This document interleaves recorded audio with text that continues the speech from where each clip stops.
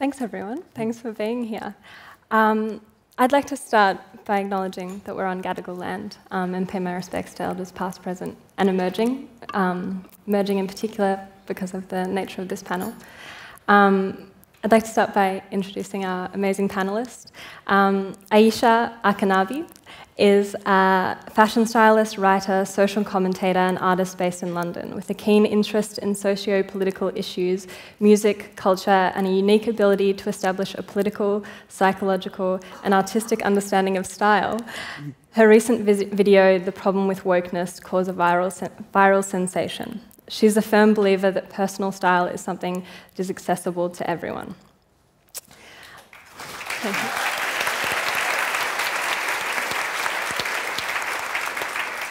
Aya Chebbi is an award winning pan African feminist. She is the first African Union Youth Envoy and the youngest diplomat to the African Union Commission chairperson's cabinet.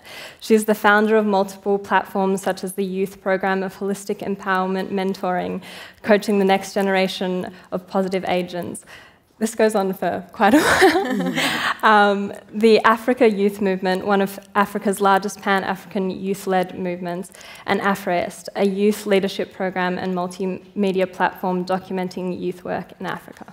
Thank you.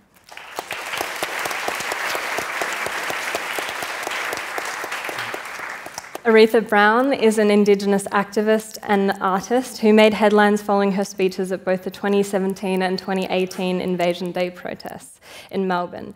In 2017, Aretha was also elected the first female Prime Minister of the National Indigenous Youth Parliament.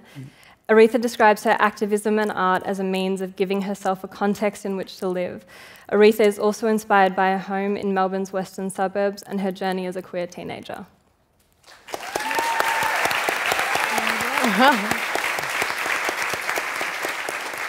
my, my name is Maddison Connaughton. I am the editor of the Saturday paper, um, but today I am the moderator of this panel, which is a huge privilege, um, and I'm really happy to be here. Just a tiny bit of housekeeping to start. There are two microphones down the front here. Um, at the end, we'll have about 20 minutes of questions. So if you, if you have a question, I'll let you know and make your way to the microphones. I've been told by the stage manager, please lean into the microphones. They're not particularly strong. Um, so you'll need to say your question quite loudly. Um, I guess to start, the name of this panel is kind of interesting, and Aretha, you were speaking about this a little bit before, the future of feminism. Maybe it has like a sense that feminism has a way to go. There, there are things that can change and, and be better um, and improve. Mm. But I wonder, like, what was your way into feminism? Like, what were your early experiences of it? How did you come to see yourself as a feminist or understand that in the world? Yeah. Um, so I've said this before, but I didn't really ever get the privilege of deciding to be interested in politics. Um, being an Indigenous person in this country, I'm always seen as a political entity, no matter what I do, you know. Um, and that's really tricky, you know. So I didn't really get to decide. Um, and I guess, you know, I just I didn't I didn't get to decide, you know. Um, and I I guess the reason that I got into activism was because of my grandma, you know? Um, so she's Auntie Janice Brown, and she lives out in Blacktown here um, in Sydney's western suburbs. But when she was my age, so 18, um, she was taken away from her mob, my mob, um, uh, in Nambucca Heads, which is a small community up in northern New South Wales, and she was brought to Sydney. And she was made to become, she was a housemaid for this dentist in Bondi. Um, and this isn't distant history, you know, this isn't stuff that we get to excuse ourselves from. This is stuff that's happening in this town um, with people that are still alive, you know. Um, when we talk about the future of feminism, I think it's important to acknowledge that it's our past that inevitably shapes the present, which will go on to shape our future, you know. So I think it's all about looking backwards to understand what's going to happen in the future and understanding patterns and, um, yeah, you know. Um, but I guess I speak because she didn't get to speak, you know? Um, when she was forced to move here, she couldn't learn her language anymore. She wasn't allowed to celebrate her culture. It was all totally just um, vanquished. She, she wasn't allowed to do any of it. And that affects me because now I can't learn it, you know? And it's so easy to just feel so um, there's just I just haven't got a context, you know. Um, I try to look back in history, but I don't see myself reflected back anywhere, like anywhere, you know. Um, I just finished year 12 last year, and to just you know to finish year 12 is hard, but to finish year 12 being an Indigenous kid where you're not reflected in the curriculum that you're trying so hard to learn, it's just you know, it's just it's it's a big thing, you know. Um, I know I did history in year 12, and I get warranted the first two pages of the history book, and there's some, you know, dark-skinned fellow with a boomerang, and then the next 200 pages it's colonial history, mm. and it's almost as like I didn't actually get a, I didn't actually exist before colonization, you know. My narrative only really exists once it was influenced, once I, I somehow influenced, you know, white fellas, you know. Um, I just didn't exist before that apparently, and when you have no history, I have no. Um, concrete kind of base to know anything about myself. Yeah. I think that idea of school is interesting as well. Do you feel like um, growing up, like Aisha, I liked that school taught you about these things? Like, it, was it in your education to understand feminism or understand activism or how it was inherently political? No, it wasn't part of my schooling education at all. Um, I grew up in a place. Um, in England uh, called Southampton, uh, which is just outside of London. And it wasn't a very diverse place. You know, I was one of, um, one of two black people in my entire school throughout the whole time, pretty much. Um, and yeah, we never learned anything about, you know, as far as we knew, and we didn't even go into that, we just kind of understood, um, we knew the slave trade happened. It wasn't a very extensive um, understanding of it. I think it was just kind of skipped over, but we never we didn't learn very much about any of that. Our, our history was very um, Eurocentric. Um, and I think, for me, I think, I think it was music actually when I was a young person. Like that's where, and isn't rap music, in fact. It was rap music, the type of rap music that I was interested in at the time. People like Tupac when I was eight, um, that were speaking about certain issues. Like for me, that was maybe like the first political person that I saw. Um, and because I was such a, I was at such a young age, um, listening to this type of stuff, um, that was maybe my first insight into the world not being quite what I think, especially as he spoke about race a lot and things like that. But it wasn't ever something that was part of my, my schooling education. And I think I could, I could probably say that for, for most um, people of color growing up in, in England. That's not something we, have, we learn in school, that's something we have to seek for ourselves. And seeking from sort of US made? Yeah, yeah. So I guess um, in terms of a lot of um, black history, I guess um, the African American experience is probably um, the one that people know most about, the one that has a lot of literature on it. Mm. And so yeah, it was people like, whether it be Angela Davis or whether it be Maya Angelou's story or Malcolm X, um, James Baldwin, it was people like that where I kind of got to understand more about what happened historically and about my identity. Because although I'm not African American, um, there are parallels. You know, there are very many parallels that you can relate to. Mm-hmm. Um, I, when you sort of first came to prominence um, was during the Arab Spring in 2011. What point were you at in your life when you started blogging about the things? Is blogging, do people use the word blogging anymore? When you started writing and publishing mm. online about um, the things that you were seeing mm-hmm. and experiencing and, and um, seeing change in the yeah. world around you? Yeah, I started blogging out of frustration of mainstream media um, depiction and narrative of our movement. Uh, so people call it uh, the Arab Spring. How many people know about the Arab Spring? Okay. The Arab awakening, you know, as if we were sleeping, we just woke up one day, did the revolution. The Jasmine Revolution, you know, people died for dignity and they call it Jasmine. Um, so out of frustration, I was trying to tell the media that the Arab Spring is a Western narrative. We call it the revolution of dignity. Uh, that's what it is, and it is our right to own our own narrative. So blogging for me was more of owning my own voice uh, and my own narrative, and with the mindset of realizing that uh, online and the digital space is an exclusive space. Uh, it's not uh, an open, you know, uh, inclusive space. So I had the responsibility that I have uh, to be online to tell that story uh, to a global audience. Um, coming into feminism, I think for me, I have always been in my family uh, sort of radical uh, and a rebel uh, around.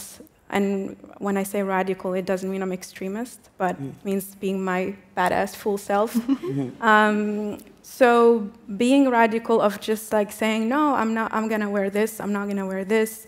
I come from a very uh, religious family. All my mother and father's family are veiled. I'm the only non-veiled, and I'm like, this is how I'm to live, or getting out of my parents' house, or even traveling, which is not very common in, in the family. So just being radical in like growing up and doing things differently from what it's supposed to be as a, a girl.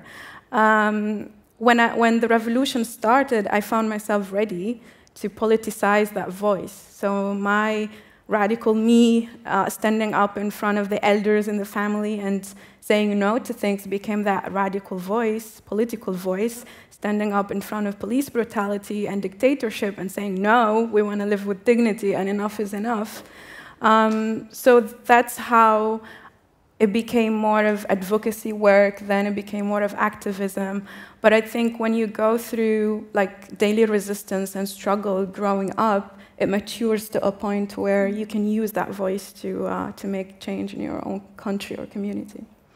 I don't want to skip ahead too much, but the Tunisia is also often seen as um, a success story yeah. within that period of time. Do you think, looking at the past eight years, um, that that the revolution has had a marked Im, Im, impact mm. or improvement in people's lives, and I guess maybe looking at women in particular. Yeah. I was talking in the previous panel about how I get really frustrated also with like international ranking of what democracy is in our part of the world by saying if election were peaceful or violent, you know, and that's like ranking democracy or defining if a country is democratic, and it really overlooks, and, and this is the way we also kind of judge revolutions, like we say, like all the headlines are about the failure of Egyptian revolution and things like that.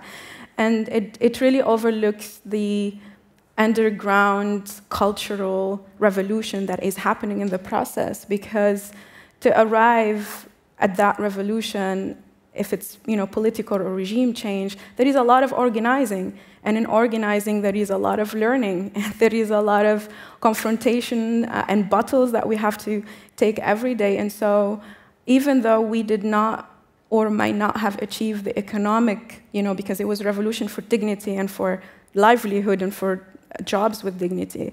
Um, and even though our economic situation didn't improve, um, we still have now dignity to speak freely, uh, dignity to act, dignity to citizen action. And I see the same also, I mean, we were taken as a model, but I see the same also in Egypt, where women have gained, you know, Nubian rights in the constitution, when women have uh, started mobile application on sexual harassment and, and decreased the sexual harassment rate and things like that. So I think we, whatever, you know, people every single year of the revolution, media comes to ask me, okay, four years of Tunisia's revolution, five years anniversary, eight years, and they like to say what happened bad, what went wrong, you know? But it's like so many beautiful things happen. We won the Nobel Peace Prize, for God's sake, you know? um, so I think it's just about how we define success or failure of um, a nation or our, our progressive uh, um, uh, gains. And one of the most uh, gains, I think, of Tunisia's revolution is our constitution. We have rewritten a constitution from scratch for three years.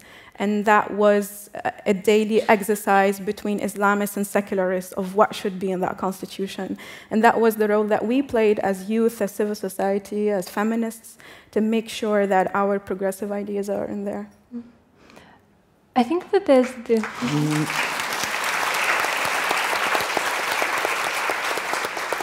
Um, I think there's this idea that there's like a intergenerational divide that we're seeing in feminism at the moment. Um, and sometimes that comes in the form of like a critique, like young feminists don't do this, don't march, don't you know take a certain action in their feminism. Um, but I guess I'm curious to know what you think defines feminism in the current context. What do you think makes it different than perhaps previous generations? I can I can pick yeah. up on that. Um, well, first of all, we are the most youthful generation of human history, like global youth. You know, we're the youngest in history, and in Africa, we are the most youthful population in the world.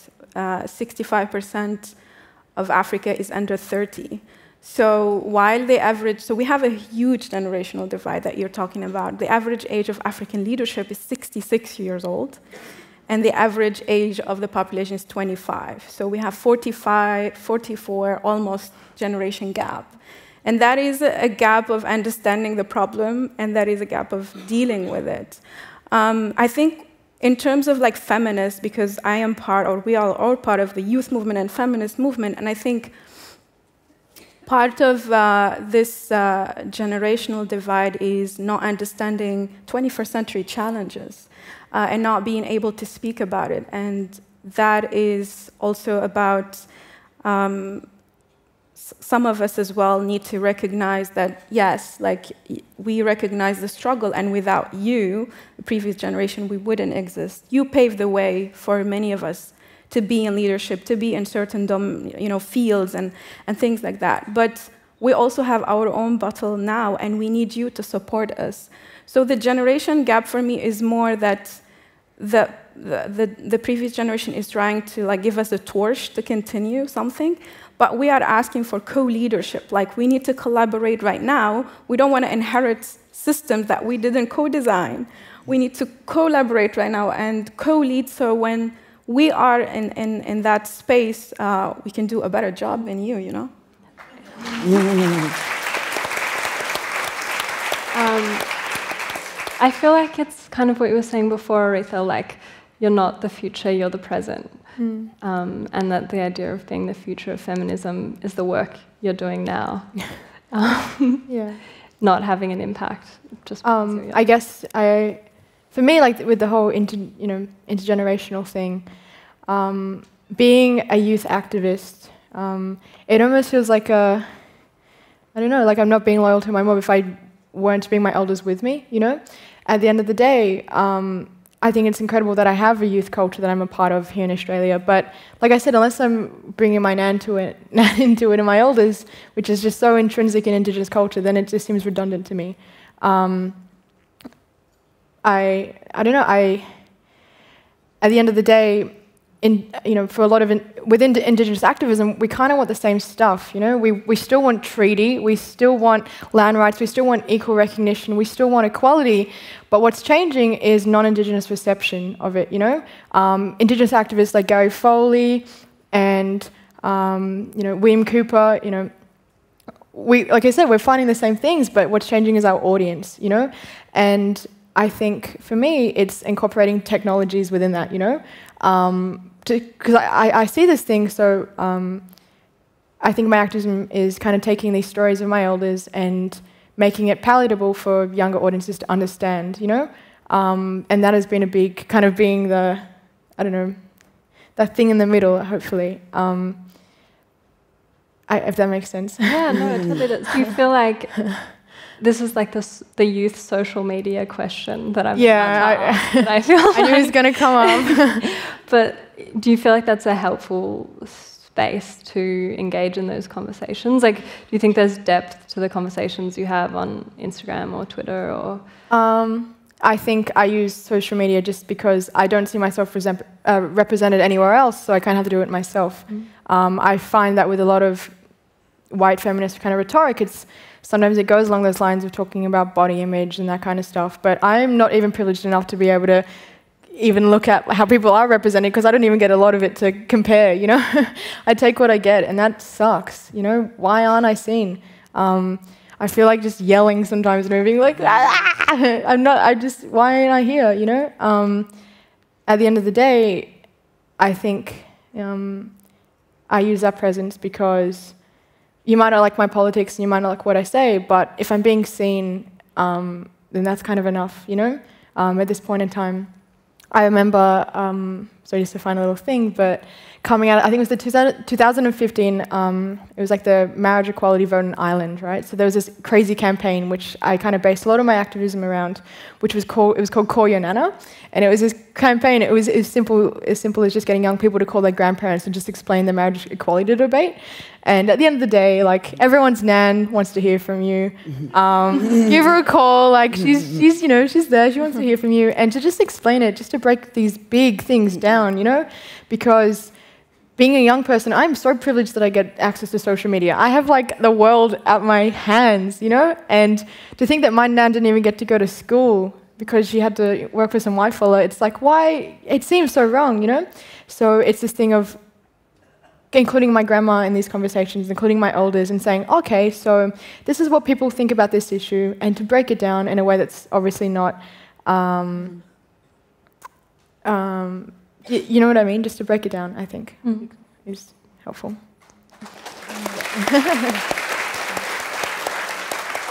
Um, Aisha, I follow you on Twitter, and I enjoy your tweets because I feel like you still aim for 140 characters, even though Oh. you have. right. um, but they're very like, yeah, very to the point. But do you feel like that's a helpful place for you to have these conversations? I guess, I mean, that video like went viral, um, which is kind of what people dream of happening now, social content. Yeah, I, I didn't expect that at all.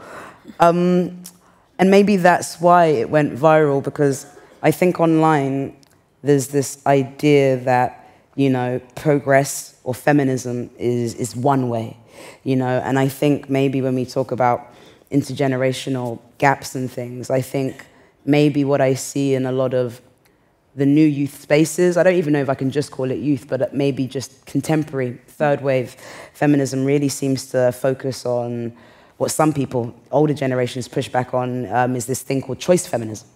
You know, and this idea that um, feminism is anything a woman chooses to do. Um, and, you know, I don't necessarily, um, I don't necessarily resonate with that model because I think if if feminism is anything and everything, then it runs the risk of becoming nothing. Um, and so, for me, I think um, Twitter is maybe good in terms of, and social media potentially is good in terms of being able to express yourself, in terms of having debates or conversations, not so much. I think um, when people are aware that they are being watched, they perform, you know, um, because I think we're in this era now where you know, everybody wants to be um, perceived as ultra progressive. And if you're not perceived as ultra progressive, then the, the pushback can be uh, quite severe. You know, we, whether that's cancel culture, whether that's being ridiculed, or whether that's having someone um, quote your tweet and, and embarrass you and that go viral. Um, and so I think, you know, a lot of things happening in that space can sometimes feel um, quite performative. Um, so I think it's maybe just good for you expressing yourself, but in terms of conversation, no. But it may be good in terms of aligning yourself with certain communities and, and finding people who, who feel the same way that you do um, and being able to learn. I think it can be a great space for learning. Um, but often, I think we only make um, space for, for only a few ideas to, mm. to, to, push through. I think, I think for me, just to agree with your point, um, I use social media to represent my culture because it's like, it's, it demystifies it so mm. much, you know? At the moment, because we don't teach Indigenous history in schools and in our curriculums, people just don't know anything, right? And so when you don't know anything about a group of people, you assume, and you're left so mystified. I'm kind of just like stuck, frozen in time, and I'm not really seen in any kind of contemporary space. And so just to be seen on social media, it's like, wow, this is actually, wow, Aretha is just like, I don't know, in the bath, or like, I don't know, like doing hanging with friends. This isn't weird. Oh my goodness, you know. Um, and I think it's just breaking down, like kind of like uh, that kind of barrier in a sense. Mm. You, oh. I would just add um, to to what you said that the way we use social media is for organizing. Um, so we you know, instead of everyone going somewhere to protest, now you can bring everyone to one place to protest just by a Facebook event.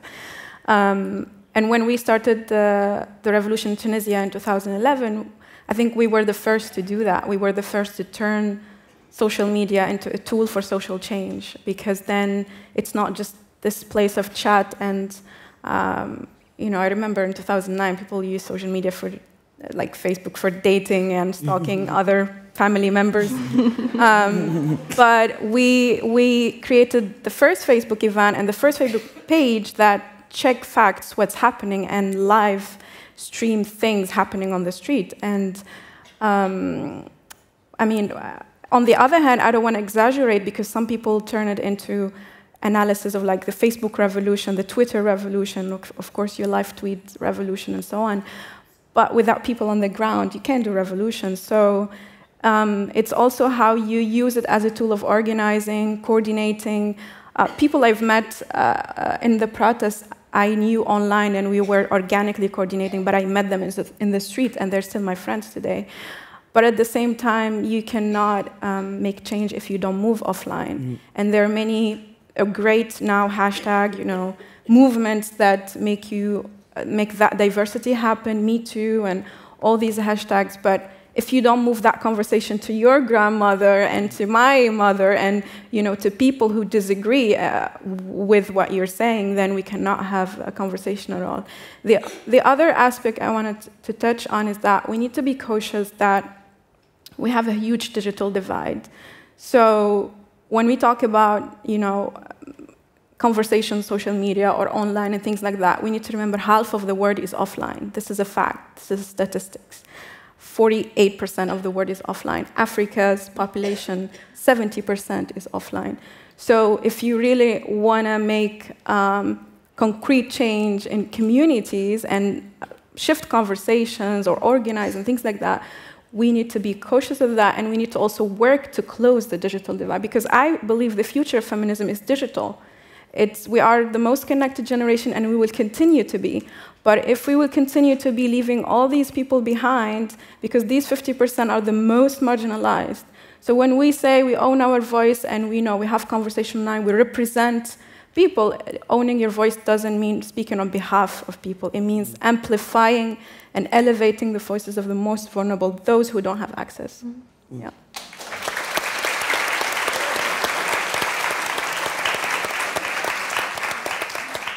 I'm curious if any of you feel a tension about participating in structures or organizations or brands or working for things that have been built by previous generations.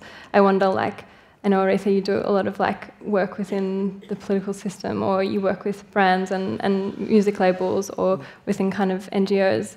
I, do you ever feel a tension about whether you can change those things from within? I guess it's that do you work within, or do you build something that is outside of that? Mm. Yeah, um, I yeah, it can be conflicting. yeah, I work as a fashion stylist, and you know, it's not necessarily um, it's not necessarily the most political or social spaces, you know, and they're not necessarily the most aware spaces. Um, and so I don't necessarily, and you know, and especially at the moment, you have a lot of brands and companies who are co-opting a lot of these movements, you know, who are jumping on hashtags, who are appearing woke uh, for the sake of profit and things like that. And I think it can become dangerous in the sense that um, people feel that maybe um, ultimate liberation is to be able to see marginalized people in these spaces, mm. you know, and I'm not so sure a lot of the time. Um, so I think, I think, you know, for me, maybe I use, I use these things to get what I need from them um, and build within my own communities and my own organizations, like whether that's funds or whatever, but it's not, for me, the revolution isn't working with a brand. Mm. You know, it isn't, it's maybe being able to empower uh, minority communities and, mm. and, people who don't have things to, to start our own, but it's not to, um, to sort of add more profit to those who are quite exploitative anyway. You know, whatever the current trend was, um, a lot of these um, a lot of these brands are, are going to be willing to jump on anything. Um, so I think as long as we don't think of um, liberation as um, as solely representation within like these capitalist structures, you know, and these brands and organizations. I think that um, you know we might have a chance in in building more for ourselves. You know, but it's it's not necessarily for me at least. It's not it's not within those structures. I um, I agree with you because um, I feel as though to work like our to be indigenous in the country and to be successful and smart is to inevitably be really isolated. You know, I'm working within these systems at the moment, and when I was elected um, indigenous prime minister, it was crazy because it's like, oh man, like this is what I know success to be, but to my grandma, she's never liked, you know, to, the, to my grandma and to the mom, we've never liked government. And for me, it's about trying to re-establish trust in these systems, you know, but it's really tricky. Um, not to be too flash again, but I actually had a piece of artwork in the NGV this month down in Melbourne, which is like the gallery there. And while that's really, it's, it's pretty cool that I get to do that, well, it's awesome, but it's crazy because it's also, I have this incredible cognitive dissonance all the time because it's like, okay, so success because I get my artwork there, but at the same time, I went to the NGV the other day and we still like, we still have levels in the NGV dedicated to race. That's whack. That's like mm. some get out shit. It's like scary. no, it is. It's really whack. So I can go and there's like the Chinese section, there's like the South Sea Islander section, there's the Europe European section, which is always a lot bigger. but I won't mention it. Um, and then it, it's still categorized by race, and it's like, this is really weird. Why are we still doing this? This is the NGV. This is the most progressive art space we have in Australia, but I can just, you know, uh, I'm privileged in the fact that I can just ignore an entire culture of people by just not going to this one level. It's really weird, right? And so it's like, okay, what do you do? Because I don't want to buy into this thing but I also want to better myself, you know? and so it's like, oh. but it's not until you realize how much race is intertwined in this country that you can actually do anything about it, you know? Because um, it's, it's everywhere, you know? Um, and it's, it's whack. um, I think for me, my mantra is occupy. Um, and this is since, yeah, since I, I became fearless in the revolution. And being on the front line is like breaking all your fears. I mean, what, would be, what could be worse than that? Um, and after eight years of activism on the ground, um, I'm a movement builder, so I worked a lot with organizing youth. I'm now transitioning to diplomacy, so I was appointed just three months ago the youth envoy of the African Union, and that means being in rooms with a, a lot of old men, you know, mm. being the youngest, being the only female in the room. And I did that to show uh, African youth that you need to occupy leadership positions that you deserve. And we need to be there. And I wanted to inspire many African youth to do that because that is the generational gap. If we will continue letting old people, uh, old men, uh, you know, rule, um, then when are we going to serve? Mm. You know, uh, we need to change. We need, and many, because I've seen also organizing youth throughout Africa, I've seen youth who become products of the system. So we're not really changing the, the leadership. Uh, we just continue to inherit the same system. So for me, it was more of showing a different way of leadership that you can be a young diplomat, you can still be cool, you know, mm. and, uh, and you can speak a simple language, and not complicated, and uh, you can serve, you know. Uh, so it's, um, it's challenging to be in the system, but it's uh, necessary to change our regimes, to change our continents, to advance our lives.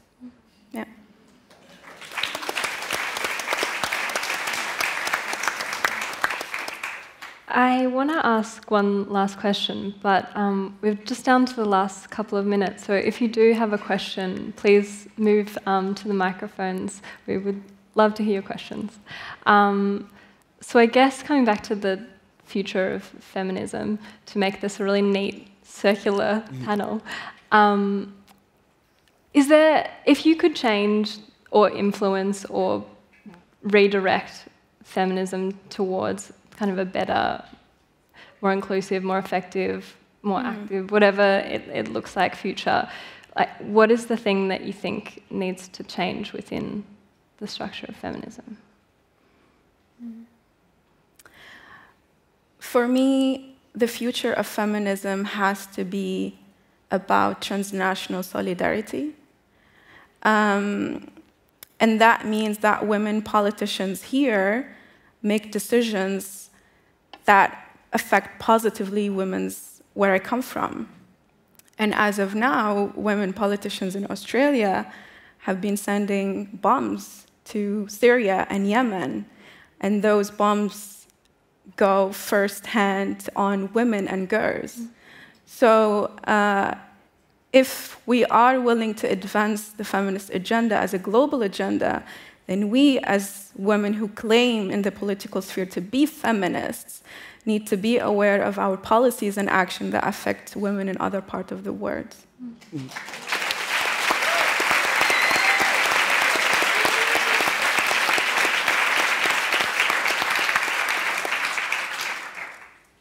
Yeah, I, I would agree. Um, I would say that it's um, we need to be able to, you know, I think when we live in these parts of the world, I think it's very easy to to to get caught up in in what's in only what's happening with us, you know. And I think that we are quite privileged to be able to be in these spaces and to have these conversations, to be online, because this isn't something that's accessible to so much of the world.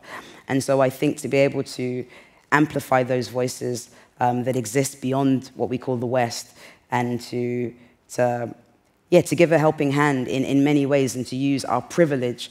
Um, yeah, to be of more benefit to, to people who don't have access, I think for me would be, um, yeah, a way to go, you know, and like you're saying, to, to make this a lot more global. I think that's what we could do.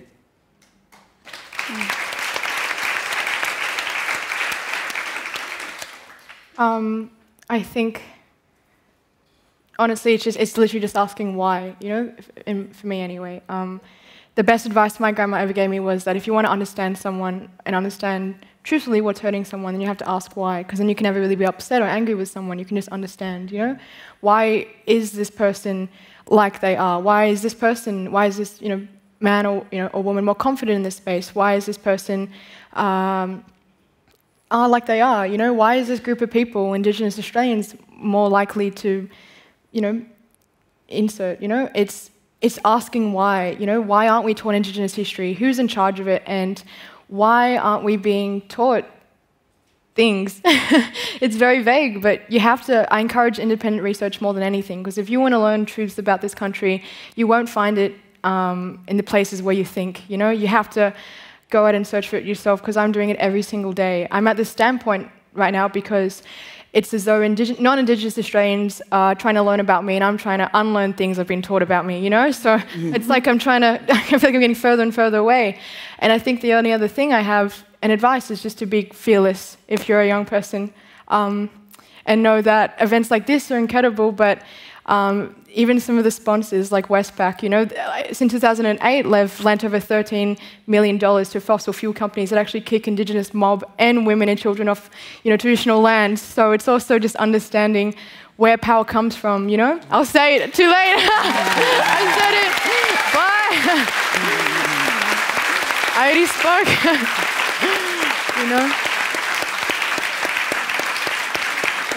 So. I already said it. What are you going to do?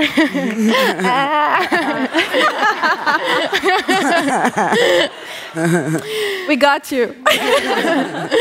Um, well, maybe we can just keep that applause going. Can everyone please thank our panel?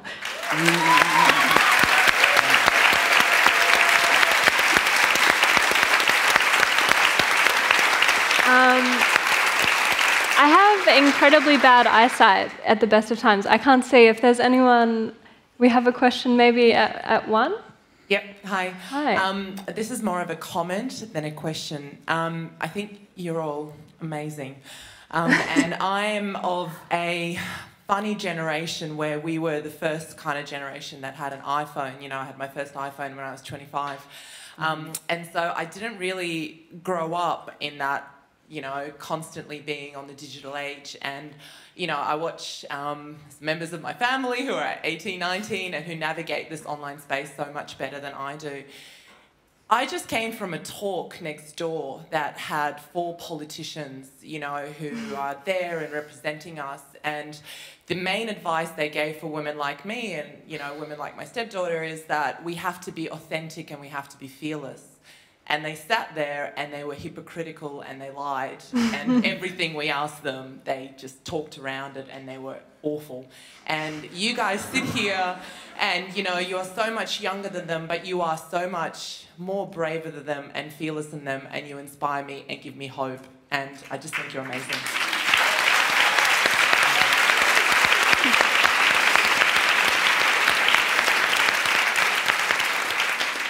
Go ahead. Hi.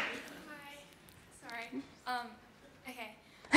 so I was wondering what's because you've given us so much advice on the future of feminism, but I was wondering what's your advice to me as a young woman so that when I grow up, I can live amongst all the other people in my generation in a world where there's equality and there's like no sexism.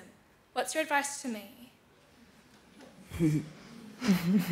um, well, the thing is, by the time that, uh, you know, when you get older, you know, because, you know, change doesn't unfortunately happen as quick as we'd like it to.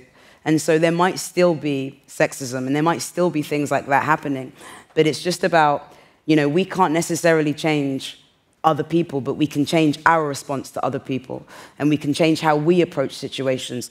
And, and going off of what Aretha said about asking why, I think asking why is a really crucial thing because I think it's very easy to get angry and outrage. And, you know, and anger and outrage is, is, is perfect. We need that to some degree.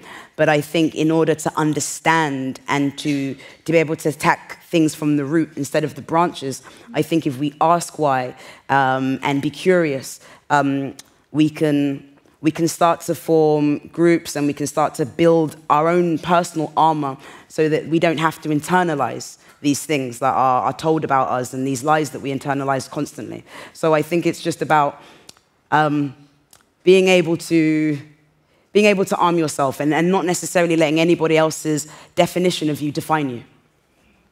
Yeah. I would, I would just add to that that I definitely agree with you. Actually, the estimate is that gender equality will take another 108 years. Politicians don't act now. Um, but what I would say, which is great about social media, thank you for mentioning that, is that social media is taking all the masks of people as well down uh, because people are, they're, you know, um, they make a lot of, um, they're hypocrite, but they still have their truthful self out there. And that's what I would tell you to be your radical, badass self every single day, you know, and not be apologetic about that. And while you continue to be confident in yourself and continue to exist in your full freedom, uplift other women with you, because that is the problem. What we can promise, I think, is to open the door for other women, and probably what these politicians are not doing when they talk about diversity, but they're not opening the door for other women to come in and represent. You know, we don't, we're not asking you even to advance the gender agenda if you don't want to, but let other people come in and they're diverse so we can have an inclusive table. Um, so uplift other women as brave as you as well when you do that.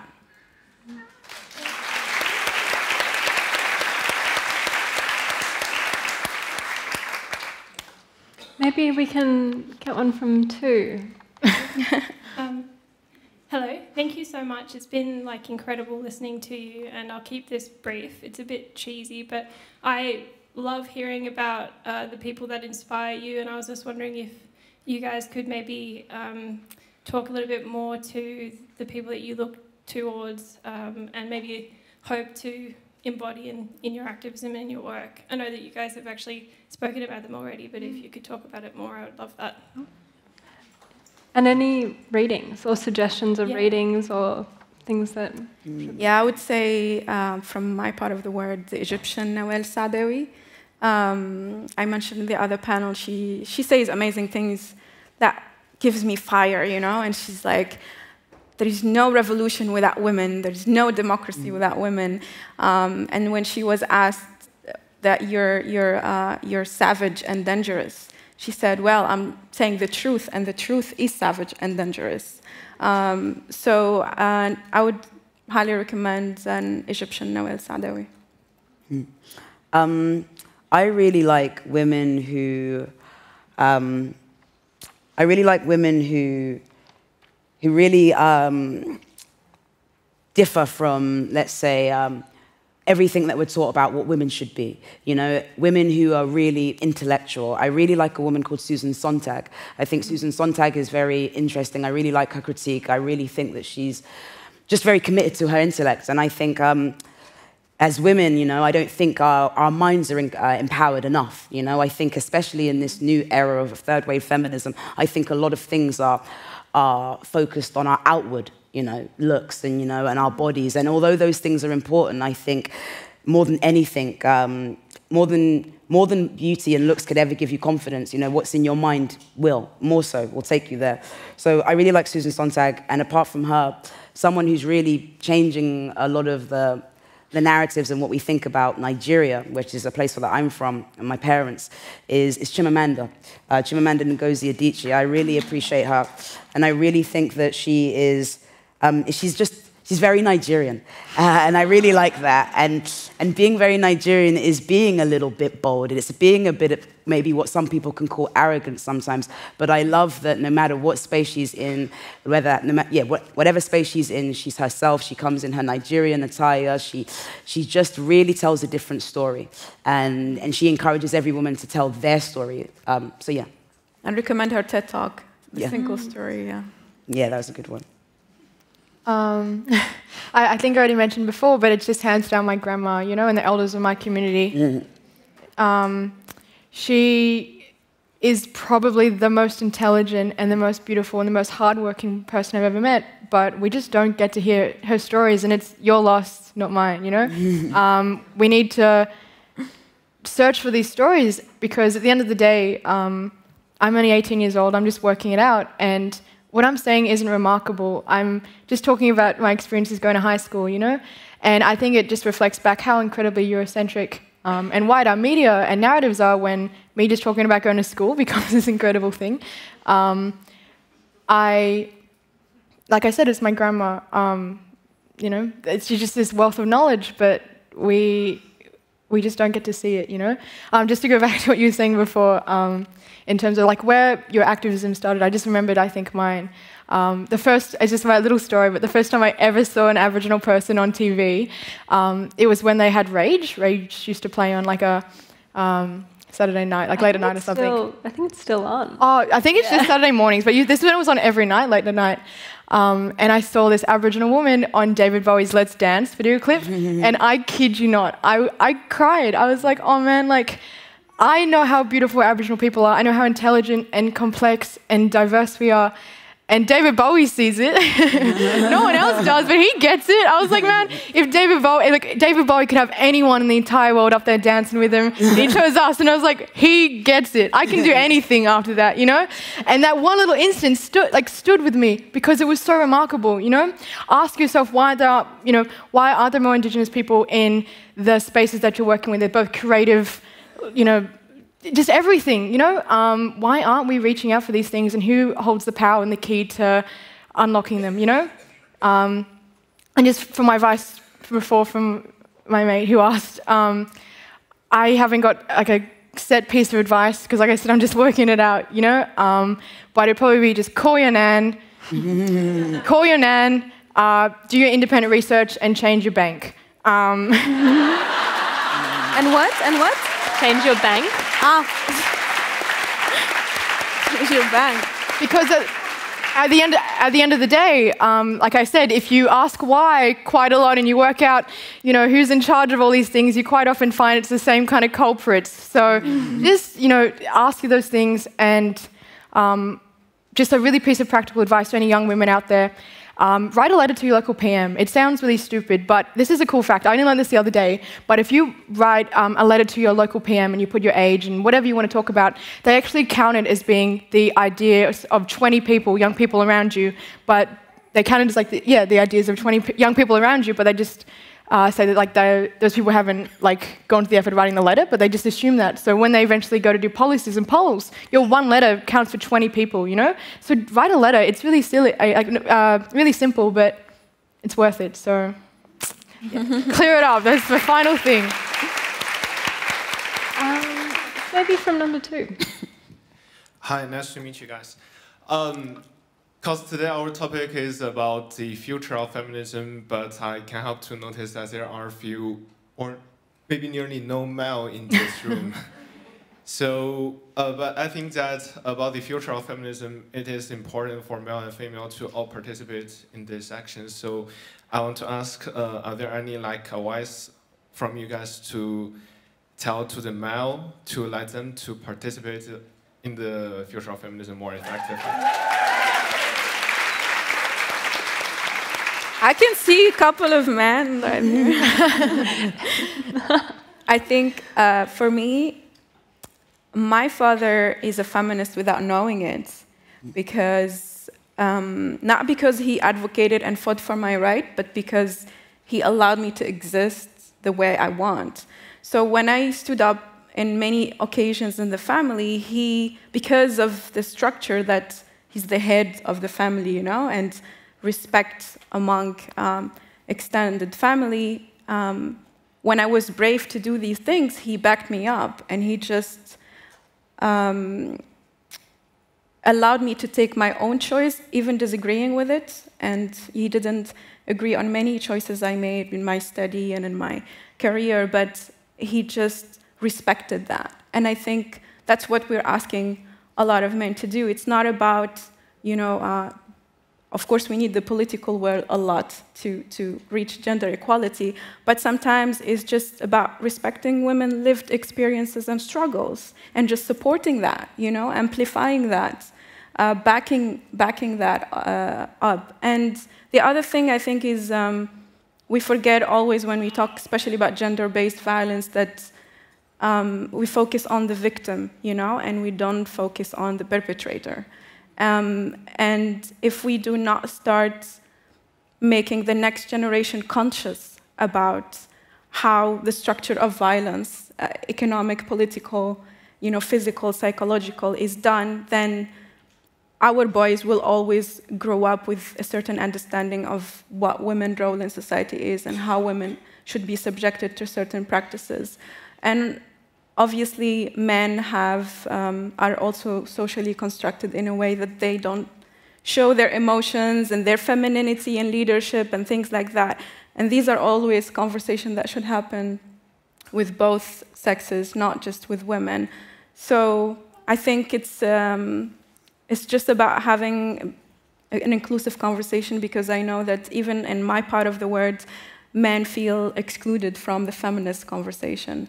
Um, but I think feminism, again, is about um, equality for everyone. And still today, 2019, a lot of men think that women, feminist women hate men, and feminist women would make men cook for them, and you know they, you know, they're single, and like and like they stay single for life, and you know all these stereotypes about being feminine. But it's like it's about our skill set. If you're the one who knows how to cook yeah, you better cook because I'm not gonna eat bad food. But um, but I think you know it, it's that it's it's. Um, it's that understanding that feminism is about women liberation, is about uh, freedom, is about equal rights, equal opportunities, from the understanding that that will make the world a better place, you know? Not because one or the other. It's mm. just uh, that's what we want to all heed towards a world that is a better place. And if you have women have access to education, it's not just to make them smart, but that these women will grow up and become influential in their own spaces and will contribute to society. So let's value femininity as we value masculinity, and let's all work towards gender equality.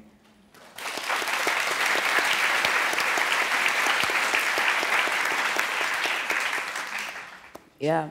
Um, I, I, think when, you know, I think it's a, a, good question, and I think that um, the future of feminism should definitely um, be more inclusive of men. And I think a lot of people's feminism is. I think sometimes the issue is that a lot of men see that a female empowerment being a denial of mm-hmm. male, you know, male rights. And I think men um, and women need to understand that, you know, feminism is to liberate boys as well and to liberate men and is to remind them that, you know, because men are, are living under this, you know, are trapped under the burden of patriarchy too. You know, it's not healthy for any of us. And, you know, you know, in terms of men not being able to feel like they can cry or not being able to show their emotions and not being able to do these things, patriarchy almost um, devoids you of being human. You know, it's kind of taking away that right. And so I think when we allow ourselves to be authentic because men do cry, men do have emotions, and men do feel. And to allow yourself these things is to have a rich existence in life um, because riches isn't only money. Um, and so I think um, when we start to understand that, you know, feminism isn't to deny men's rights, but is to kind mm. of push for human rights, I think that we can work harmoniously together. Mm -hmm. Mm -hmm. Yeah.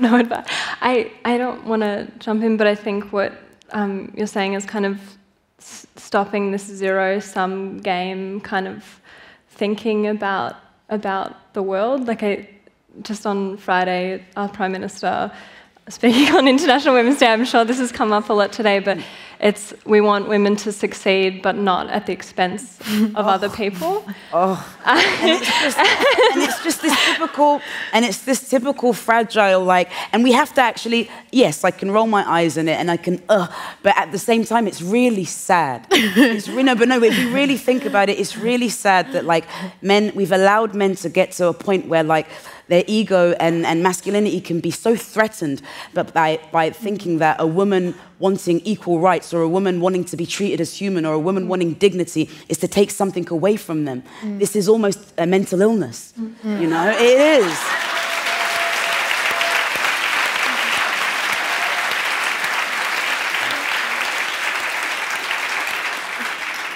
You have a very insecure prime minister. Yeah. Right. uh, on Women's Day. I like having been here for a few days, you have already summed him up spectacularly.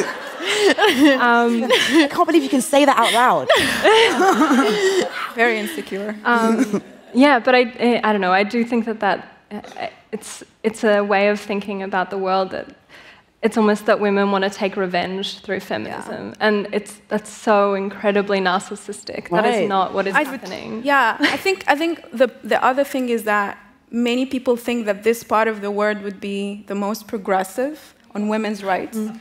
When, when, when Rwanda has 60% of its parliament women, mm. you know, when we had almost six or seven women presidents, and the United States cannot even accept to have a female president in mm. the last election, like it doesn't, you know, comprehend it. So I think as much as this is again how we measure progressive societies or progressive leadership, there is a crisis of values in global leadership. And being in Africa now is so exciting for me because all I see is progress, progress, progress. Like we're hitting all the laws, we're getting there, we're debating equal inheritance in Tunisia as we speak, you know? It's the first in the region if, if we pass that law. Uh, we're talking about Africa's integration, free movement, you know, visas, you know, mm. like progressive policy going just on. And I look at the other part of the room like, what the hell is going on? um, so again, to transnational solidarity, I think there is a lot of learning that the global north can take from the global south because we've been through a lot of repression and oppressive things. And if there is a backlash in this society, we can support and we can help how to deal with it as well.